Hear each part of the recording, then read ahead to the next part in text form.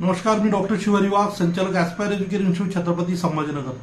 विद्यार्थी मित्रांनो आपल्यासाठी आपल्या आवडत्या सिरीजमधील व्हिडिओ क्रमांक सत्तेचाळीस मी या ठिकाणी घेऊन येतोय. विद्यार्थी व पालकांच्या मनामधील प्रश्नांचे निरसन या सिरीजमध्ये आजच्या व्हिडिओमध्ये एकूण आपण पाच प्रश्नांची चर्चा करणार आहोत. आणि अतिशय जेन्युअन आणि महत्त्वाचे प्रश्न आजच्या डेटमध्ये सुद्धा आपल्यासाठी मी शेअर करणार आहे. त्यामुळे व्हिडिओ शेवटपर्यंत पहा. तत्पूर्वी पहिल्यांदा जर आपण ॲस्पायर एज्युकेशन इन्स्टिट्यूटचं यूट्यूब चॅनल बघत असाल तर चॅनलला सबस्क्राईब करा. महाराष्ट्रातील मेडिकल इंजिनिअरिंग फार्मसीच्या प्रवेश प्रक्रियेच्या संदर्भाने अतिशय महत्त्वपूर्ण माहिती आम्ही या चॅनलच्या माध्यमातून आपल्याला देत असतो. त्याचा अनेक विद्यार्थ्यांना मेडिकलच्या प्रवेश प्रक्रियेसाठी किंवा इंजिनिअरिंगच्या प्रवेश प्रक्रियेसाठी फायदा होतो. तेव्हा चॅनलला सबस्क्राईब करायला विसरू नका. सुरुवात करूया आजच्या पहिल्या प्रश्नाला.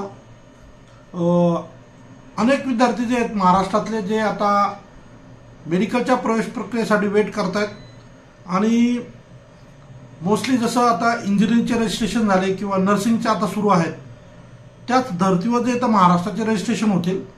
आणि त्यावेळेस तुम्हाला ॲडमिट कार्ड लागू शकतं नीट नीट एक्झामचं ॲडमिट कार्ड आणि नंतर ॲडमिशनला तुम्हाला ॲडमिट कार्डची मागणी होऊ शकते.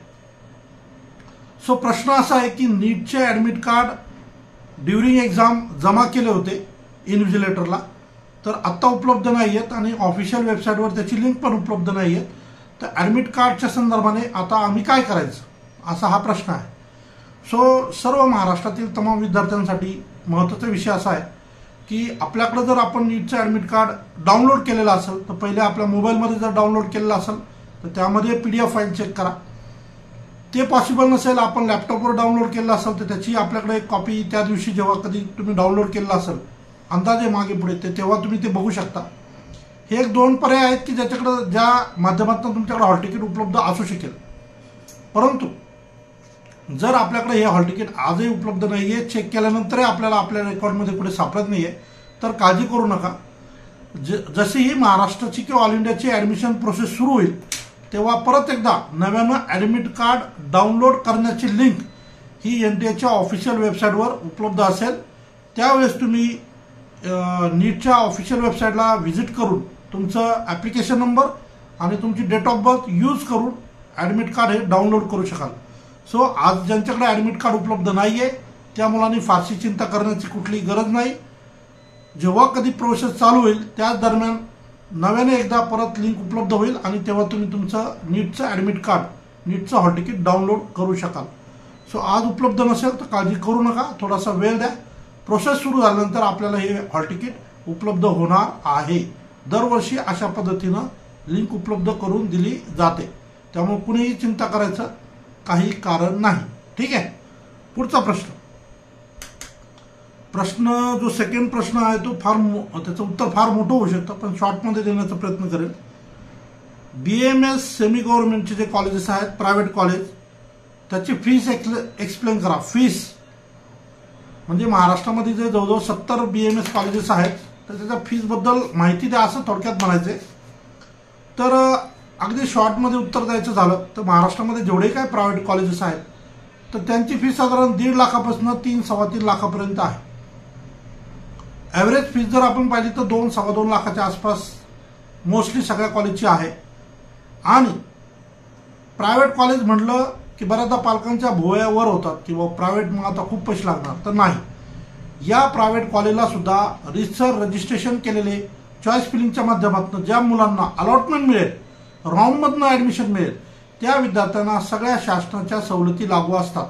पण त्यांच्या त्यांच्या कॅटेगरीनुसार समजा आता दोन लाख एखाद्या कॉलेजची फीस आहे आणि एस सी कॅटेगरीचा मुलगा आहे तर त्याला वीसच हजार भरावे लागतात.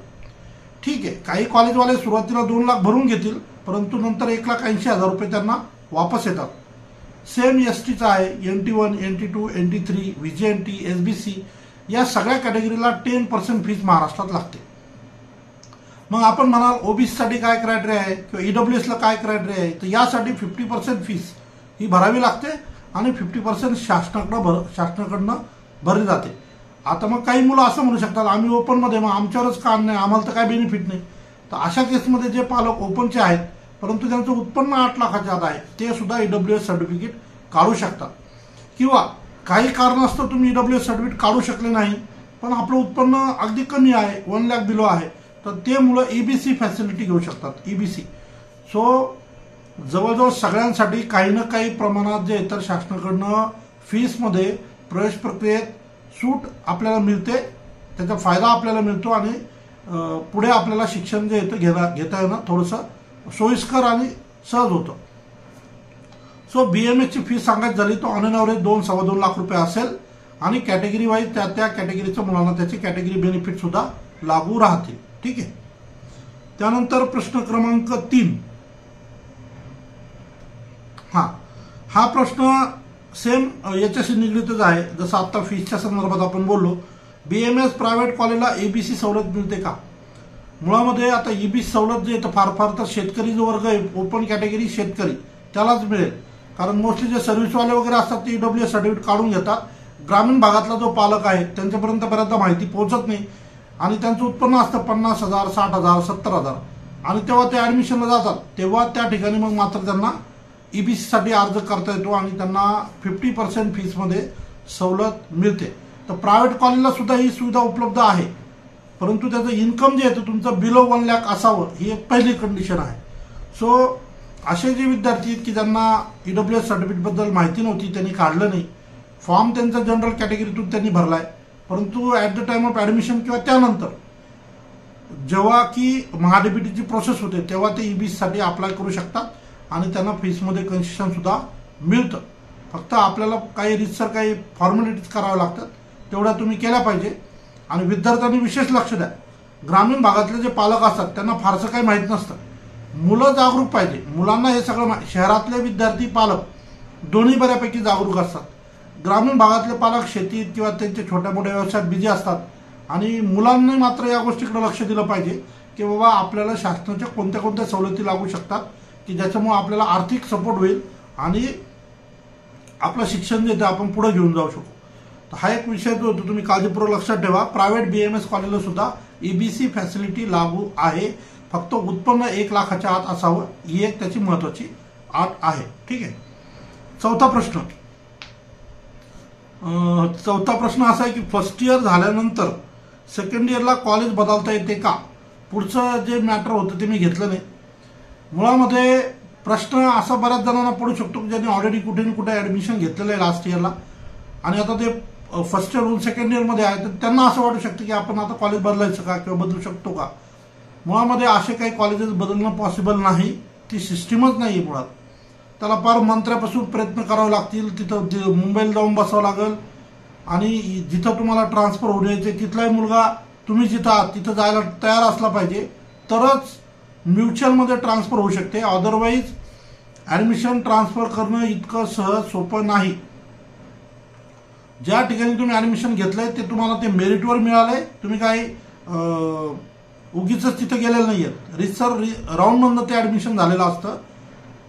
किंवा स्पॉटमध्ये झालेलं असेल तर त्यांना तर हे विचारसुद्धा करू शकत नाहीत ते. तर जेव्हा तुम्हाला मेरिटवर ॲडमिशन मिळालंय ज्या ठिकाणी मिळालंय त्या ठिकाणाहून दुसरीकडे ट्रान्सफर करणं ऑफिशियली तेवढं सोयीचं नाही किंवा ते पॉसिबल पण नाही. आणि त्यातल्या त्यात जर जे कॅटेगरीची मुलं आहेत ज्यांना राऊंडमधनं अलॉटमेंट मिळाली ज्यांना कॅटेगरी बेनिफिट लागू आहे त्यांच्यासाठी पण अजिबात हे पॉसिबल नाही. त्यामुळे जिथं दि ॲडमिशन भेटलंय तिथं सुखी राहा आणि तिथंच अभ्यास करा असं या ठिकाणी सांगता येईल. ॲडमिशन एका ठिकाणून दुसऱ्या ठिकाणी ट्रान्सफर होत नाही. आणि ट्रान्सफर करायचं तर त्याला फार वरपासनं त्याला ओळख पाहिजे त्यासाठी दोन पैसे खर्च करा करायची तयारी पाहिजे चक्रा माराव्या लागतील खूप साऱ्या भानगडी कराव्या लागतील.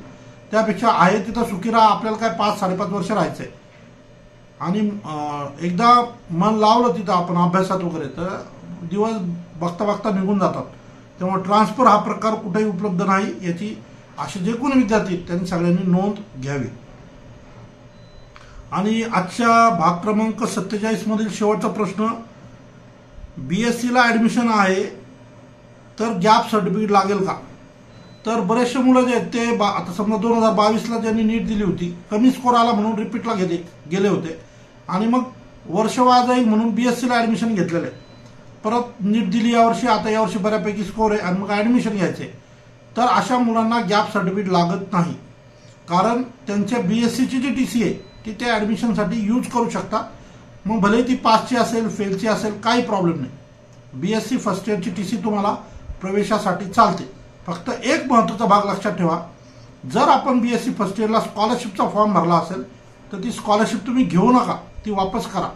कारण बी एस सी सुद्धा हे ग्रॅज्युएशन आहे आणि बी एम एस करणाऱ्या मुलाचं सुद्धा हे ग्रॅज्युएशन लेवलच आहे. तर तिकडं तुम्ही स्कॉलरशिप घेतली तर इकडं अडचण होईल. म्हणून तिकडं जर स्कॉलरशिपसाठी अर्ज केला असेल तर तो रद्द करा. म्हणजे बी एम एसला प्रवेश मिळाल्यानंतर तुम्हाला इकडं स्कॉलरशिपसाठी अर्ज करता येईल. सो हे होते आजच्या व्हिडिओचे एकूण पाच प्रश्न. आपल्याला हा व्हिडिओ आवडल्यास व्हिडिओ लाईक करा.